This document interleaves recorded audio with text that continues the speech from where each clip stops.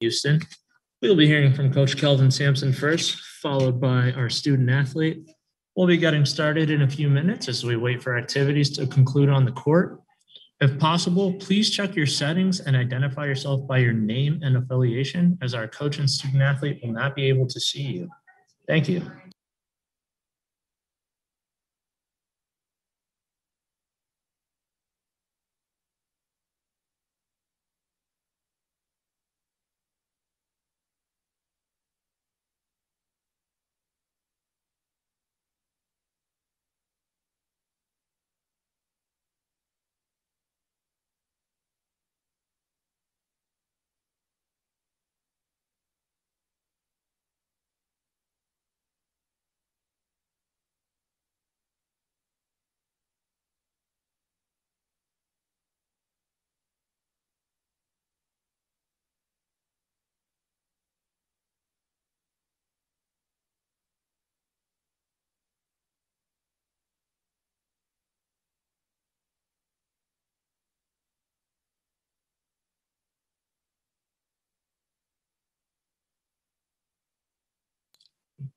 Welcome to the NCAA Elite Eight post-game press conference featuring Houston. We will be hearing from Coach Kelvin Sampson first, followed by our student athlete. We'll be getting started in a few minutes. If possible, please check your settings and identify yourself by your name and affiliation. Thank you.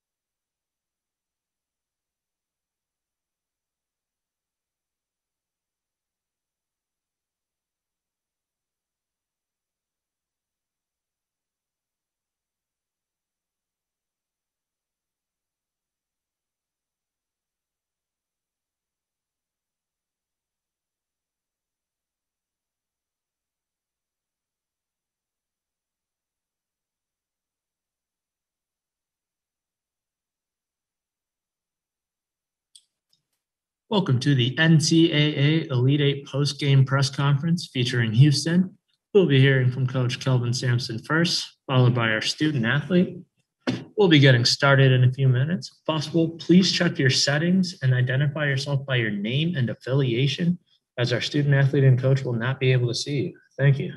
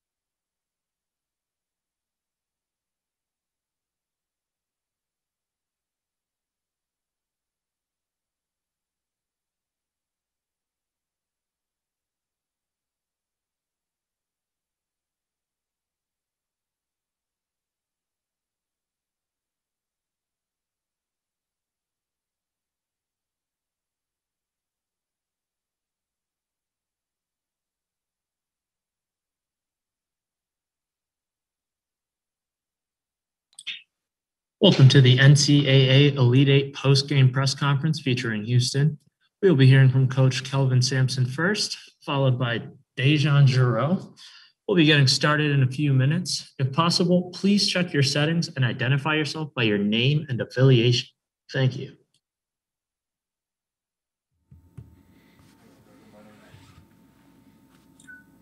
All right. Thank you all for participating tonight. We will now begin with an opening statement from Coach Sampson and then go to questions. Please use the raise hand function to indicate you would like to ask a question. When you are called on for your question, please state your name and affiliation first.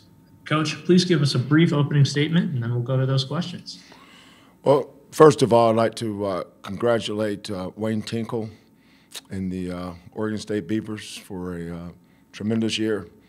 What they did the last um, few weeks, um, beating Colorado, Oregon, UCLA, um, Tennessee, Oklahoma State, Loyola Marymount.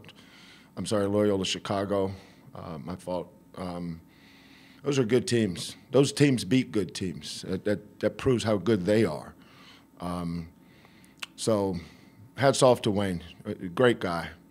Um, my, I, uh, Kellen and Lauren, my two kids, were born in Montana. I coached in Montana, and, and Wayne um, was a great player at the University of Montana.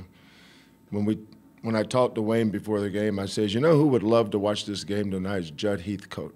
Uh, Judd gave me my start at Michigan State, and and we're Wayne and I are both uh, part of uh, uh Judd's coaching tree. So I was thinking about Judd tonight. Um, but proud of my team. You know, we we were really locked in defensively uh, on what we wanted to do. Um, Oregon State, we knew was going to come back and make a run. Um, we got a little bit um, non-aggressive against the one-three-one, but they, they made it like that. You know, not many teams can put a seven-footer at the top of the key and take away your interior pass. They forced us to go um, slot to slot, corner to corner, and and our guys got a little bit um, um, stale against that thing. But I, I, wasn't as disappointed in that as I was uh, concerned about our defense at the other end. You know, we kept uh, they kept gashing us, and we'd been so good for so long. But when I called the uh, uh, timeout, one thing you have to remind uh, young people, uh, young men in these situations, don't be afraid to fail. Don't be afraid to miss the shot. You certainly can't be afraid to take it. Um, and so we we put Quentin in that other uh, corner and uh, put him on the same side as Dejan, and we tried to get the ball from Marcus to Dejan to Q because we thought we could get the shot. But uh, they're good at running that one-three-one. We have we've seen one-three-ones a lot uh, this year, but uh, not not ones that look like that. But it's not supposed to be easy, you know. And um, proud of these kids, proud of the heart, proud of uh, battling through so many things this year. Uh, whether it was um, injuries or transfers or um, um, tough uh, a tough loss here or there. But for, this team to be 28 and three and going to the Final Four, um, this is uh, one of the greatest accomplish accomplishments I've been around. And I have this group of players and this staff uh, everyone on this staff, all the players, uh, to thank for it. I'm glad they let me go along for, with uh, go along on the ride with them. It's, it's been a fun ride with this group. All right, we will now go to questions from the media. Again, please use the raise hand function to indicate you would like to ask a question. Our first question comes from Joseph Duarte with the Houston Chronicle. Hey, uh, congratulations. Thank you. You know, Kelvin, you're you're out there at the end. You're you're waving to the crowd. You're seeing your guys dancing. All the emotion. It, in hindsight, seven years later, are these the moments that you envision for your program, for you, your family, just to get to get to this point? Um, I, I thought we would win, uh, Joseph. I thought we could win. I, I did.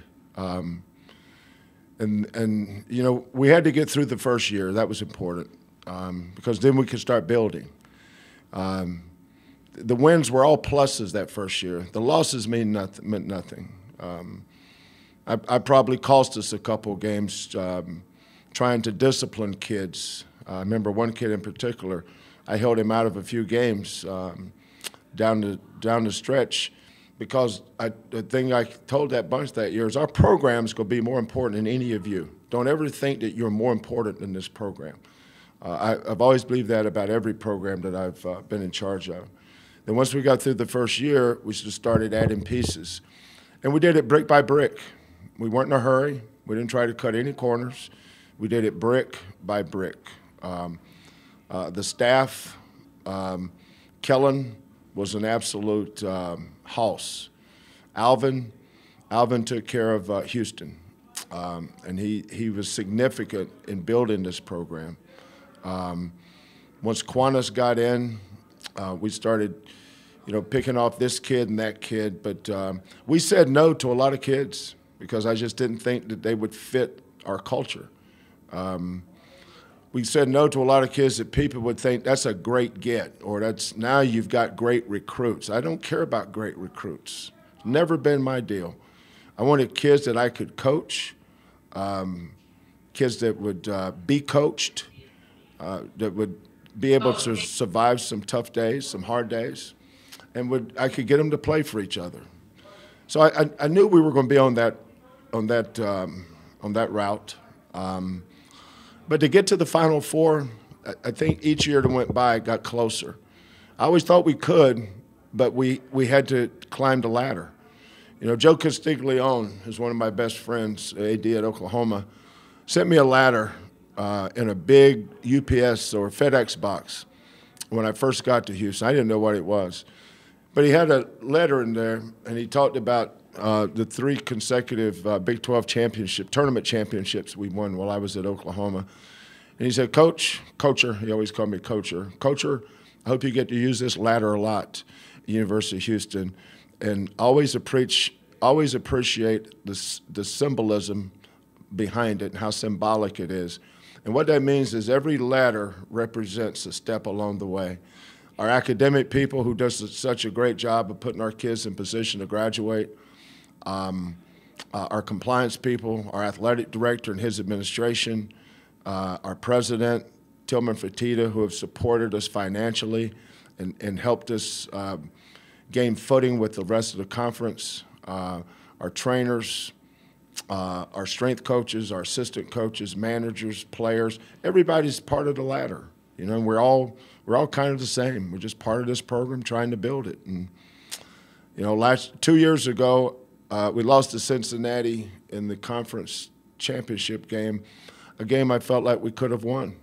And then we lost to Michigan, a game I felt like we should have won. And, and, that, and those games told me we're getting close. We just got to keep swinging. We got to keep getting here.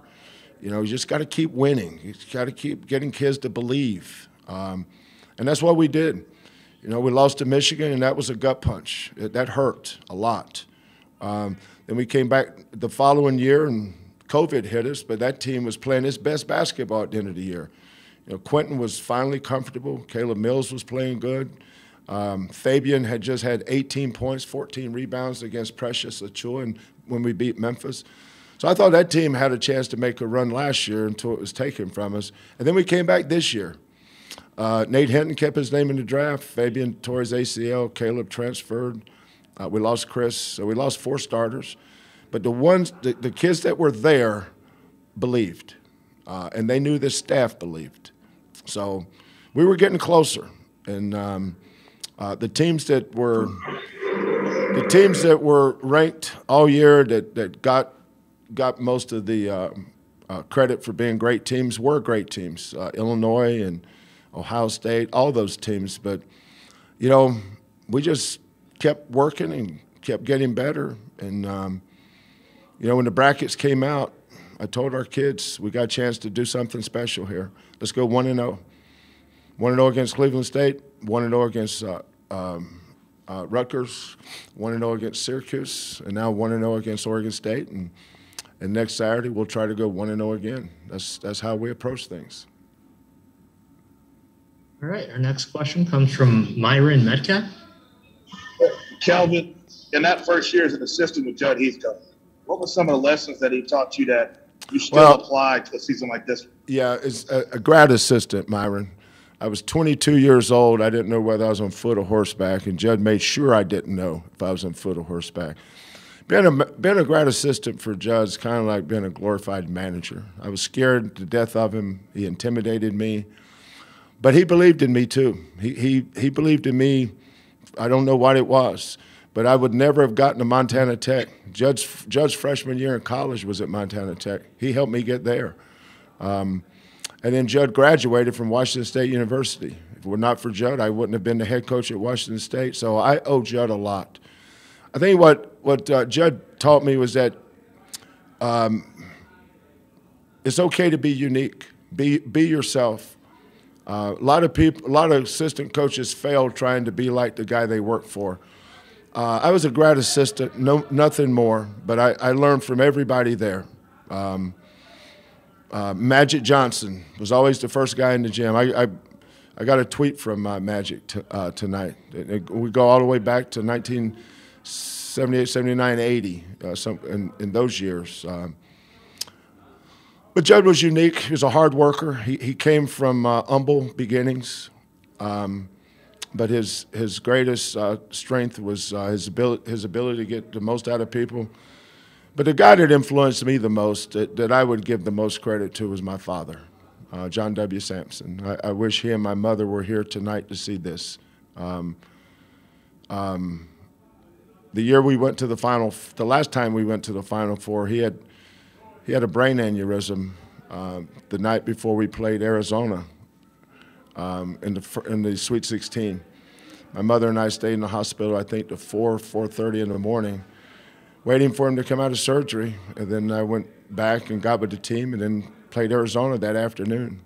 Um, and then um, he didn't get to go to the Final Four that year because of his surgery, but he, if, if he could have, he would have. Uh, and, I, and, and I wish they were here tonight. I know they're looking down, so that's a good thing. All right, and then we have time for one more quick question from Greg Bailey with KTRK Hey, Kelvin, congratulations. You, have said you. to us, so, yeah, absolutely. You've said to us so many times, I'm so happy my players got to experience that a, yeah. a full crowd at Fertitta, yeah. a, a conference championship. How happy are you for these young people who have earned this right through hard work to do something that's going to live on for generations at U of H? That's what it's all about, Greg. It's all about the players. Um, it's all about them that this, this, this memory will last them a, la a lifetime. They'll tell their grandchildren about this. Um, their mothers and fathers and their families and friends are watching them and experiencing it from afar. But these guys put in the work. Um, they all have their story. They've all had to battle through adversity uh, to come together as a team. You know, we may not have the brightest lights, but but our lights shine as, as, as bright as anybody else's because it's all about team. You know, DeJon Jarreau by himself is pretty good, but he's a lot better together. Quentin Grimes, good player by himself, but he's a lot better uh, together with this, this, the rest of these kids. So um, we've taken a we've taken a group of kids to get them to believe, and they've accomplished something that um, that they will, no matter what happens this weekend, is something that nobody will um, can take from them. And they'll always be known as a Final Four participant. They played in the Final Four. They earned it too. I mean, they earned it. There's three games in Fort Worth, the four games here. Um, you know, every season is going to be ups and downs. That's why the 1976 Coach Knight team is, is the last one to go undefeated. Everybody's going to lose games. Is how is how you um, bounce back from those games. And this team did it the right way because they're high character kids. High character kids. High character kids let you coach them. High character kids overcome adversity. Um, and they're usually mature. I have a very mature bunch. I love them to death. I'm so happy for them. They, they, they are why they are why you coach. And um, um, it's, it's, it's been a thrill being with these kids this year. Well said. Thank you, Coach, for your time today. Okay. Thank you, guys. Appreciate it. We will be joined momentarily by Dejan Jarreau. At this time, please use the raise or lower hand as necessary.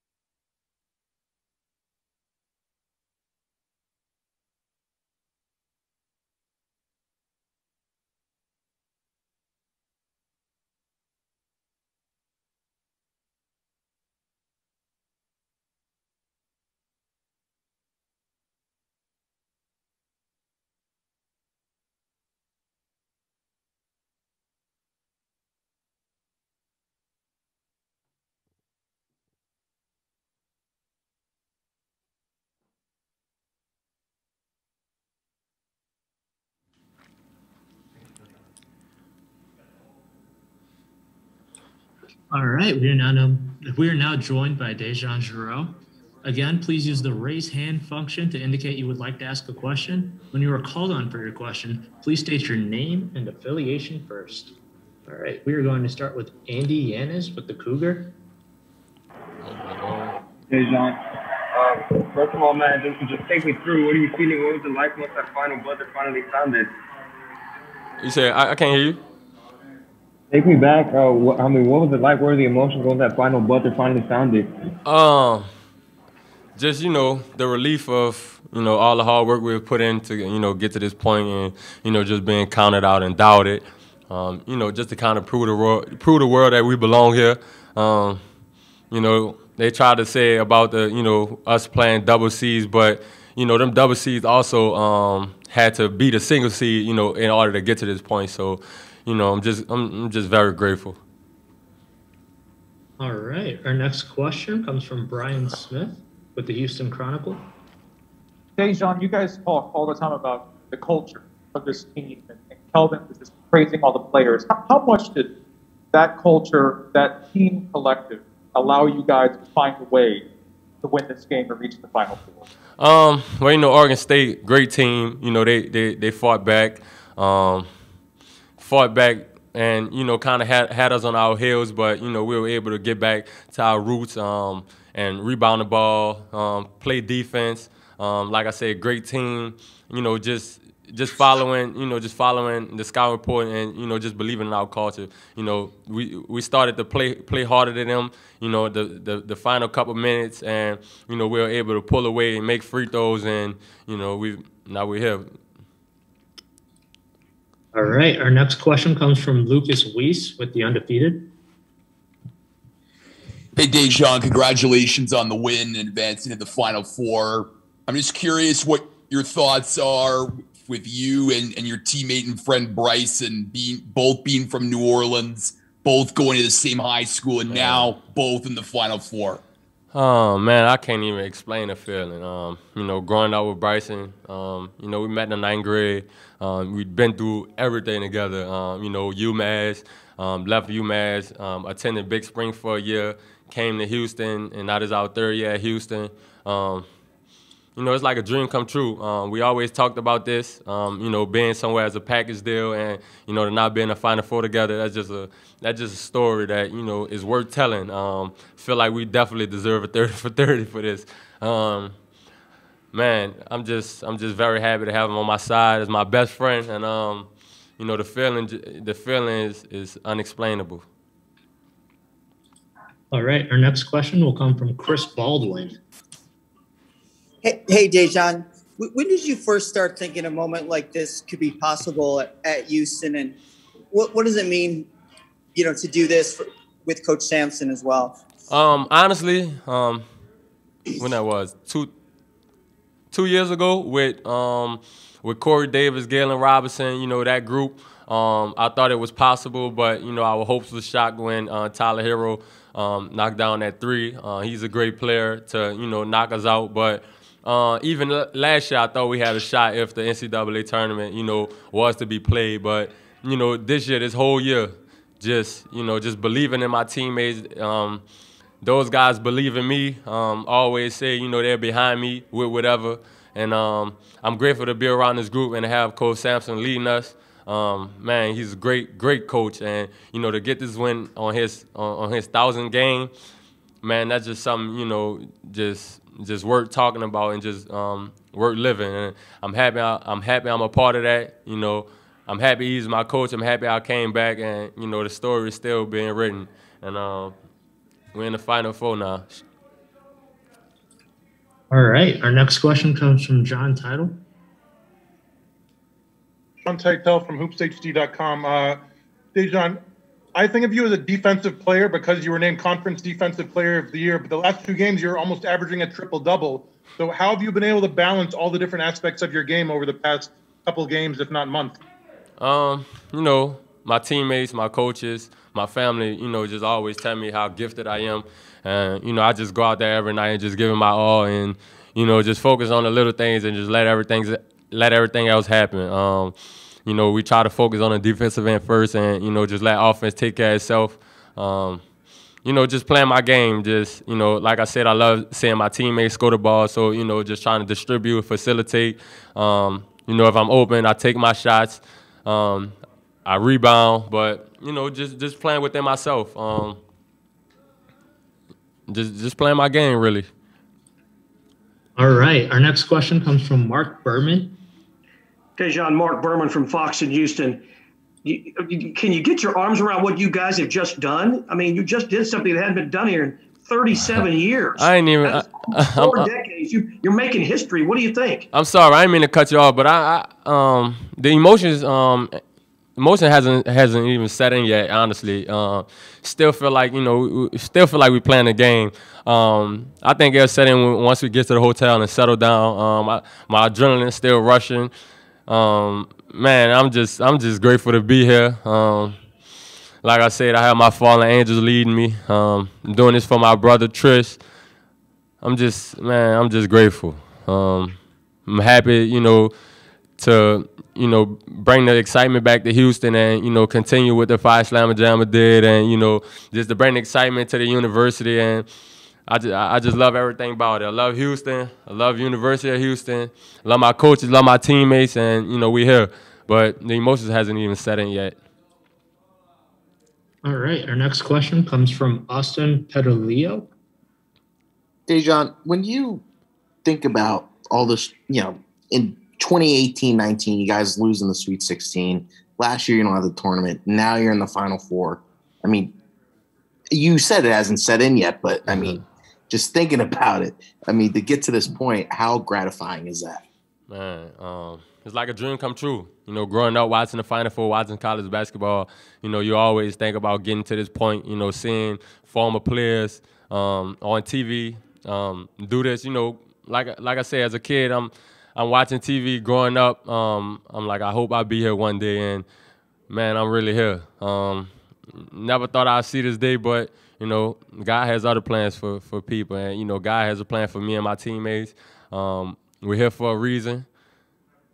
Man, I, the emotions ain't the emotions ain't hasn't set in yet. Like I said, I'm just grateful, man.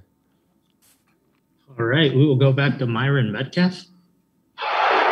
John, what was it like celebrating after the game without sort of the traditional NCAA tournament vibe?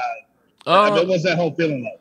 Um, you know, it would have been way way litter if you know the if COVID wasn't here, but you know COVID's here and you know it's restrictions, but um, you know the Houston family still came out and gave us the support, gave us the love. They were loud, and you know just to celebrate, you know, with them, also your family in the stands. Um, you get to see them. Um, you know, you just have to you just have to live life the way it is right now, and you just have to be grateful, you know, for what you can do. And um, you know, I'm grateful to be here.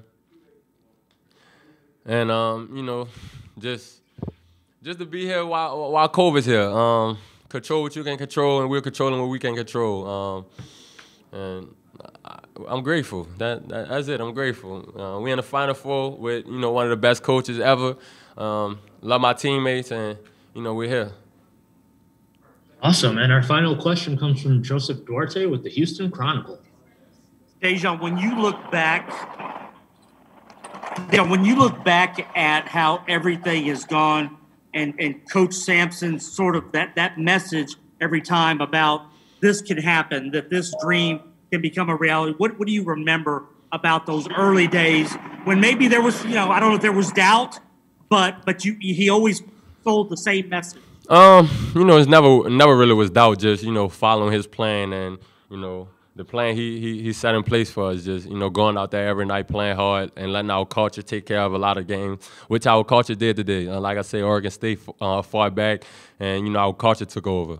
Um, we got on the offensive glass. Um, we we got extra possessions, um, and you know, we work on that every day in practice. Um, all them sprints in June, July. Um, we do it to, to be here in March, and you know it was all worth it.